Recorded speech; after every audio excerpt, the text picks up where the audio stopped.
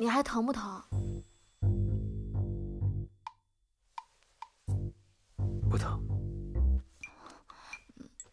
你越这么说，我越愧疚。来，这一杯我干了啊。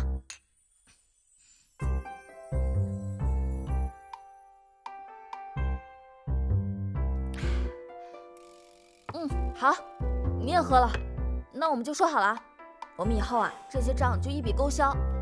我呢，我也不记得樊楼的事情，你也不要因为我打了你而怪我。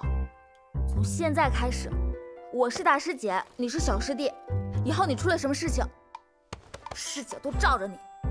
楠楠，嗯，你真的是我见过的最大度、最明理的女子。啊？大度、明理，你这说的是我吗？别人这么说过我？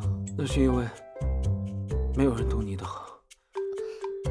没想到你还挺会说话的。